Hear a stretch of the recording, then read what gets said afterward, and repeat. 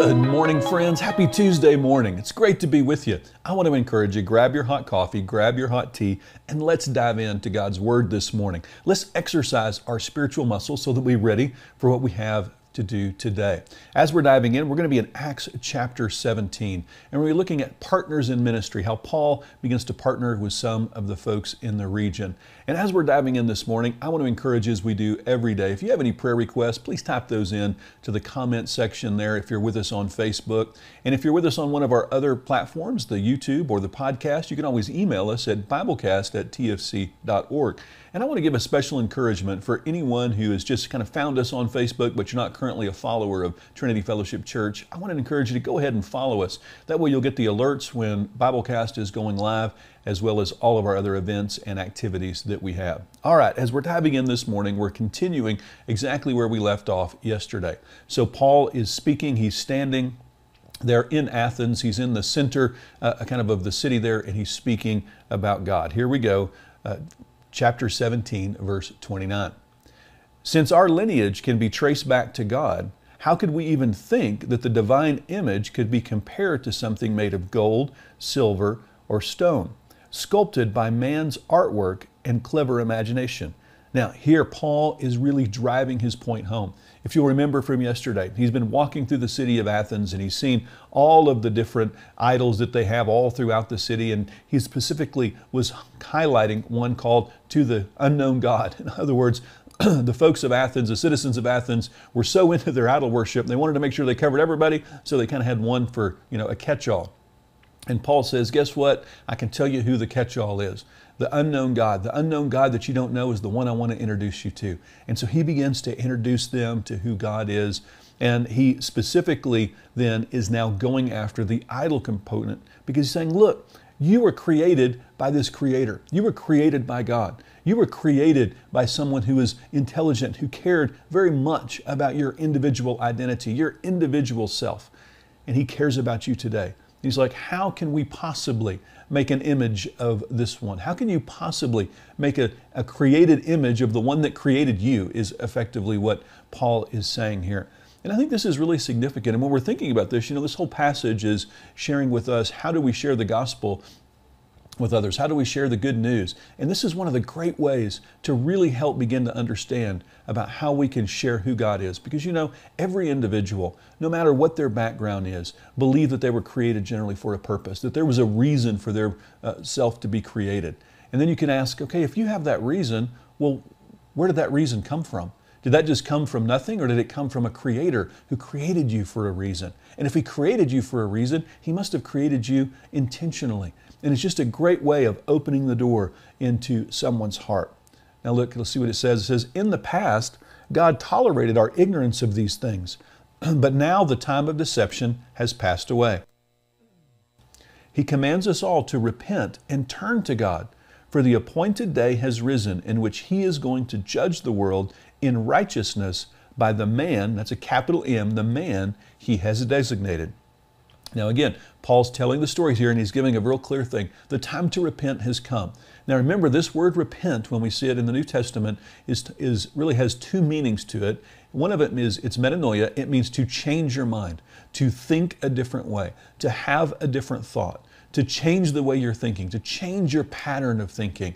And even more than just change your pattern of thinking, the second part of it is and return to God. So it's a it's it's like turn around, go the other way. You're leaving God, turn around, change your mind and start thinking in a way that's leading you to God. So he's saying God commands us to repent for he has appointed well the appointed day has risen, it's now here, which he's going to judge the world in righteousness by the man he has designated.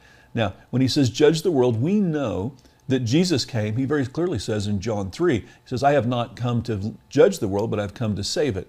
So, what Paul's saying here is he's saying, look, the world is going to be judged by Jesus. In other words, you're going to look like Jesus or you're going to look like the world. And how do you look like Jesus? You accept Him as your Lord and Savior. The, the standard by which God is going to judge the earth is Jesus. He is that standard. And when we accept Jesus, then we are accepting that standard for our own life, meaning we, Jesus imparts or imputes, is the theological term, His righteousness onto us. And then we're in this great place where we then can stand up to God's righteousness. And he continues, he says, And the proof given to the world that God has chosen this man, again, capital M, talking about Jesus, is this He resurrected him from among the dead. Now, Paul's dropping the bomb on him right here. He's saying, Look, the reason we know this is true, the reason we know this is what God was doing, the reason we know this is right, is because this man was killed and God raised him from the dead. You know, when we look at all of the gospel, and the incredible truth that we find in the gospel. You know, so often as Christians, and we talked about this a little bit yesterday, we want to go back to the Bible to prove out who Jesus is that he says he is. And that makes complete sense. We're Christians, we believe this is God's Word. But when we're speaking to a world that doesn't necessarily accept the Bible yet, they haven't got there yet, we have to understand that the resurrection is the power of the gospel. The resurrection is where it all comes from. And that's what Paul is leaning on here. He's saying, look, the proof given to the world that God has chosen Jesus is this He resurrected him from among the dead. And all, look at all of these witnesses, all of these people who have seen it. And in Paul's day, there's going to be many that are going to go uh, to their death believing and proclaiming that Jesus was raised from the dead. Now, here's the, the crowd's response. The moment they heard Paul bring up the topic of resurrection, some of them ridiculed him, then got up and left. But others said, We want to hear you again later about these things. So Paul left the meeting. Now, I love what we see here because we're seeing this really the what, what often happens with the gospel. You know, there's a, there's kind of an instant separation. There's those that ridiculed, and there's like, well, wait a minute, I want to hear more about this. I want to understand more about what you're talking about. And so Paul comes back to them. But there were some who believed the message and joined him from that day forward. Among them were Dionysius, a judge on the leadership council, and a woman named Damaris. And so here we see that some of those began to believe. They began to engage. They began to accept the message of who Jesus is. Now, Paul's traveling to a different city. It says, when Paul left Athens, he traveled to Corinth, where he met a Jewish man named Aquila, who was originally from northeastern Turkey. He and his wife Priscilla had recently immigrated from Italy to Corinth because Emperor Claudius had expelled all the Jews from Rome. Now, here we begin to see this happened pretty regularly. but There was a, an attack against the Jewish people by the Roman Caesar, the Roman emperor at the time. This was Claudius. A bit later, uh, Nero is going to attack all of the Christians and, uh, and do all kinds of other horrible things. That's when all of the being fed to lions and all of that begins. And so here we see, again, religious persecution is pushing people into a new area. Since Paul and Aquila were both tent makers by trade, Paul moved in with them and they became business partners. Now, I think this is just fascinating. It's just one sentence in all of the book of Acts. And we know that Paul was a tent maker. That was the trade that he grew up with. But here he finds some other tent makers. And so he moves in with them and they strike up a business deal. They start making tents together. This is, this is their tent making business. They are going into business to make money. Paul needs money for his ministry. He needs money to, to survive, to do what he needs to do. And so here he's using his hands, he's using the skills God has given him so that he can then support all of the ministry that he's doing.